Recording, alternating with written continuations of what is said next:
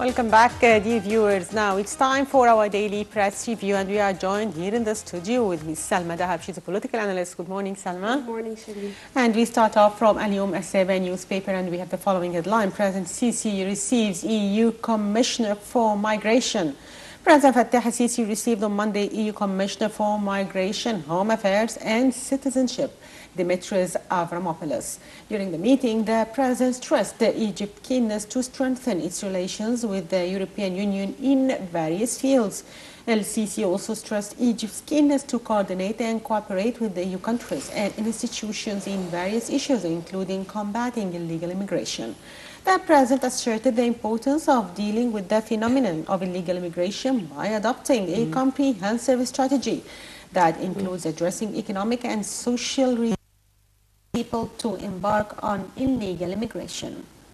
For his part, uh, the EU Commissioner stressed the keenness of the European Union to strengthen cooperation and coordination with Egypt as a key pillar of stability in the region and one of the most important EU partners. He also praised Egypt's active role in the Middle East with its heavy regional weight. The EU Commissioner also referred to the challenges and burdens borne by Egypt in combating illegal immigration and praised efforts exerted by the Egyptian authorities in these fields.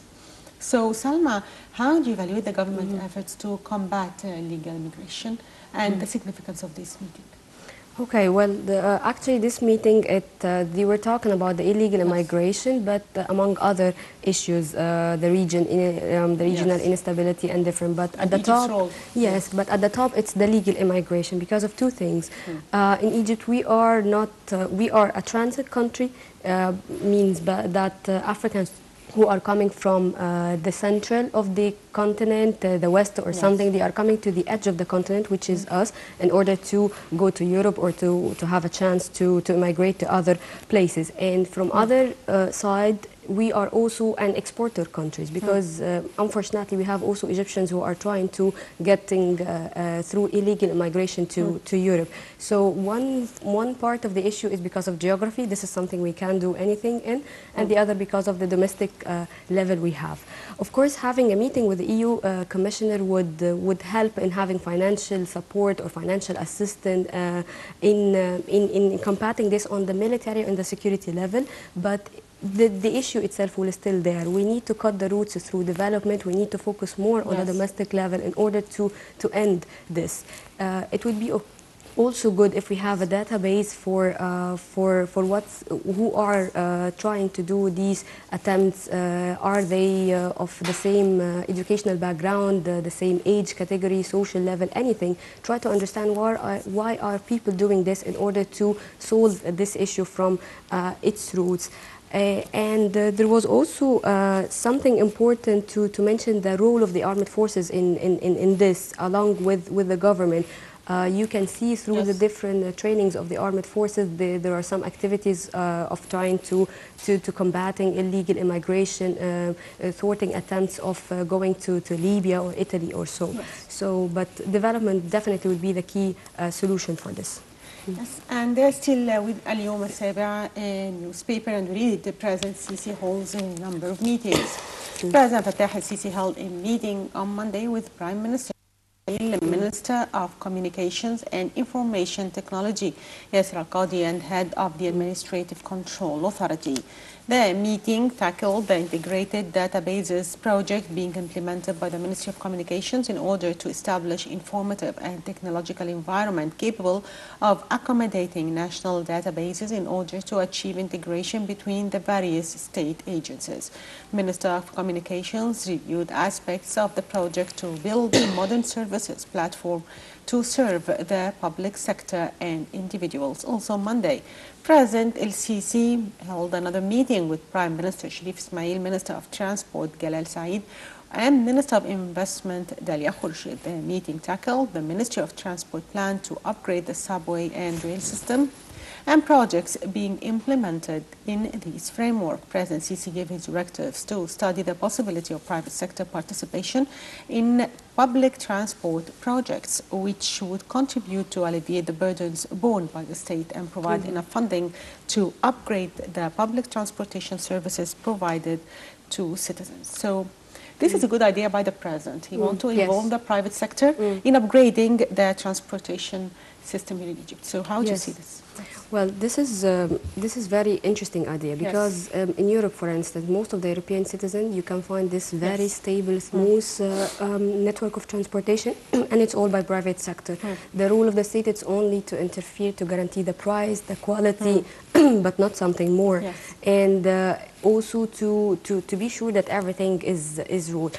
This would be good because it would remove the burden from, from the government of uh, of having uh, buying new buses or to, to in the streets Yes. and all things. So given to the private sector, it's good. It would minimize the role of the state and also give a chance for for uh, for developing. Investors. Yes, exactly, and for investors for having uh, other companies Yes. from from international um, uh, from other uh, uh, states or other countries trying to invest in Egypt. So this is would be really very very good idea Yes. and it would help uh, it would be good if we can apply it on the capital big cities and then the other governorates it would be definitely good And moving to Nile News, and we read the Egypt, Egyptian uh, Jordanian joint uh, military training Al Aqaba 2016 continues. Egyptian and Jordanian armed forces continued on Monday the joint military training Al Aqaba 2016 between the two countries with the participation of ground, naval, air, and special forces. The joint training, which will continue until the 25th of November,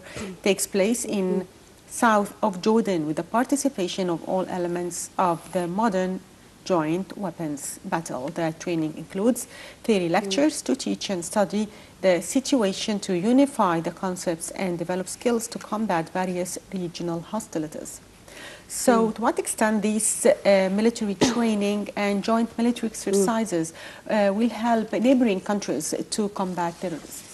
Oh, okay. Well, um, we, we can witness that the armed forces, the Egyptian armed forces, is very active when it comes to uh, testing its capabilities, uh, testing the level of preparedness and steadiness. They are doing this all the time with different countries. Yes. Before Jordan, we have this training also uh, joint air one with Russia. Yes. And uh, so it, it's good that we are doing this all the time. But what's interesting about Jordan is that we are of the same region, the same geography, the same Yes. challenges, and the same uh, problems. So, and this is also a, a longer training. It started at the beginning of the month and it will end by uh, 25th. Yes. Yes, so it's uh, and it's also including uh, air, land, navy, rapid deployment, special forces. It's it's really big, huge uh, training. So uh, this definitely would help changing the, the the expertise Yes. between both of them. Uh, Jordan is more close uh, to to what's happening in Syria than us, so we can get benefit from from this.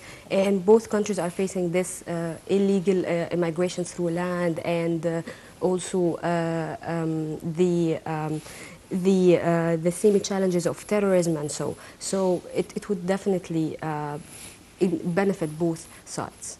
And uh, moving uh, to Al-Yom Al-Saba newspaper, and we read Russian Security Committee visits uh, Egypt in mid-December.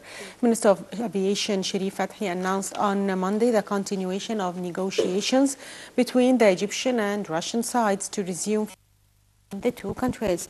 He said that a Russian Security Committee will visit Cairo in mid-December to inspect the measures taken by the government in Egyptian airports. The added that the cost of the new security devices in the first phase of the Egyptian airports securing plan reached $42 million. He pointed out that there is a plan to replace and refurbish the security devices at the airports in three phases. So how do you evaluate the- the Ministry of Aviation efforts to upgrade its security services and its services in mm. general in uh, airports? Well, the ministry actually is doing a really Yes. great job from uh, bringing equipment, security equipment, Yes. trying to, to visit the countries, especially Russia, because the Russian tourism size in Egypt is it's really it's, it's it's not small at all. Yes. And because also now uh, the duration itself, we are in the start of the winter season. You know Hmm. the the Red Sea area with all uh, these governorates. This is the season for, for tourism for this area. So it would Hmm. It would be good if uh, by the mid of December this committee uh, said or, or give authorization to Russian agencies and airlines to, to continue its flight uh, uh, to Egypt. And from our side, we exert actually no effort to uh, to to return or to regain the the Russian tourism again uh, to, to Egypt. And uh, th- this you can find the effect of this on, on other countries like uh, England, uh, Italy. The, the trips started. Yes, uh, to and Germany. and Germany, Yes. Ukraine, Austria. You can find different countries. So we hope that Russia would join the list because this would be uh, definitely very good news. And moving uh, to Al Watan newspaper, and we read tourist traffic to Red Sea ports increased uh, by 61%. Spokesman for Red Sea Ports Authority, Malak Youssef, announced on Monday that the Red Sea ports have witnessed an increase in tourist traffic by 61% last month compared with the same period of the previous year. He said that 14,196 tourists arrived and left in Cairo 2016, in October 2016 in the ports of Sharm el-Sheikh, Hurghada, Safaga, and Nuweiba.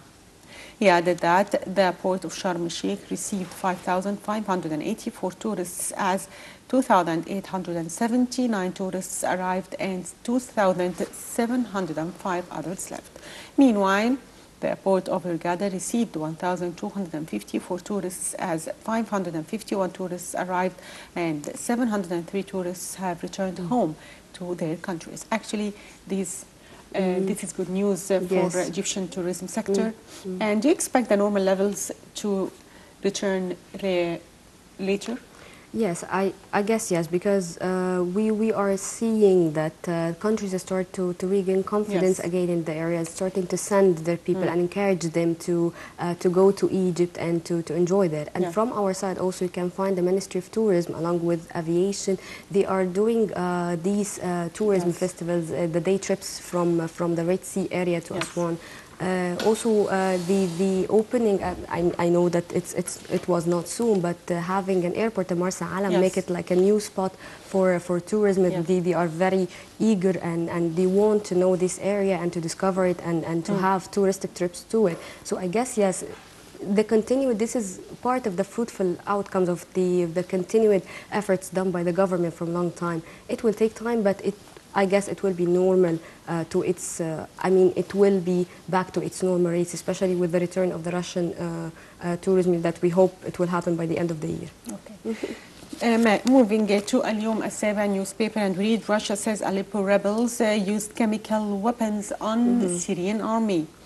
The Russian Defense Ministry said on Monday that rebels in eastern Aleppo had used chemical weapons against the Syrian army. That around soldier and that around 30 soldiers had been had been caught up in the attack. Mm-hmm. The news agency cited the Russian Defense Ministry as saying that the attack had occurred on Sunday evening and that most of the Syrian soldiers affected had to be taken to hospital. Russia has been helping Syrian President Bashar al-Assad to seize back full control of the city, but has suspended airstrikes on rebel targets inside the shattered city for now. So how do you see this escalation? Uh, well, okay, it's, it was somehow uh, strange because they are saying that after the last defeat of the opposition in, in, in the deprived uh, East, they are, um, they are now accusing the opposition of using chemical weapons. Um, and, and what's really not, uh, not clear is that Russia is asking the Organization for Prohibition of Chemical Weapons, these, uh, the same organization that like two or three days ago issued this statement saying, accusing the Syrian government of using chemical weapons in this area. And now Russia wants this government, yeah, this organization to come and to have samples, and uh, they are ready to present everything to prove that these chemical weapons with the opposition. Yes. So it's really, I think that this uh, this accusation is just uh, they are accusing the integrity and the transparency of the organization as part of the reply to uh, to what they just issued two uh, days ago, because the Syrian government was very angry and said that uh, this is a politicized organization and this is not. Uh, um, you know, this is not um, true that we are using chemical weapons. Yes. So it's just a political game between the two parts. Okay, uh, now, uh, dear viewers, uh, we'll go for a report and know more details about the, the situation in Syria. Russian Foreign Minister Sergei Lavrov and U.S. Secretary of State John Kerry discussed Syria by phone on Monday and agreed to continue experts' consultations to try to resolve the crisis. Lavrov told Kerry that Washington had failed to stick to its pledge to encourage moderate Syrian rebels to separate themselves from terrorist groups in Aleppo.